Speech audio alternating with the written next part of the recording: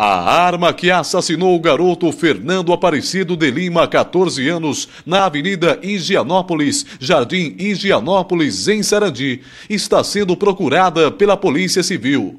O principal suspeito do crime foi identificado pelos investigadores e se apresentou nos últimos dias com um advogado para ser ouvido.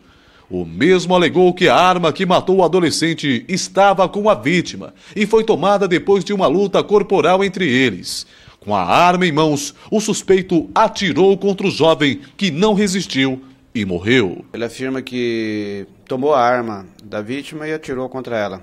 E após deixou a arma sobre o corpo da pessoa. O principal motivo da briga entre a vítima e o suspeito do assassinato seria um desacordo entre eles em um rolo de uma moto.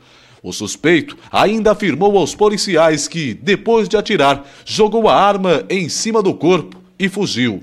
No dia 4 de julho que o crime aconteceu, nada foi encontrado em cima ou próximo ao corpo do garoto. A polícia não acredita na versão repassada pelo suspeito e desconfia que o mesmo queira esconder as provas do crime que apontam contra ele. Ele alega que a motivação foi a aquisição de uma moto pela vítima e a mesma não queria pagar pelo valor combinado. E com isso houve um desentendimento e diz que nada foi planejado, apenas coincidentemente se encontraram em frente à casa da namorada do, do investigado e lá houve o, é, os disparos e essa pessoa acabou morrendo, esse menor acabou morrendo.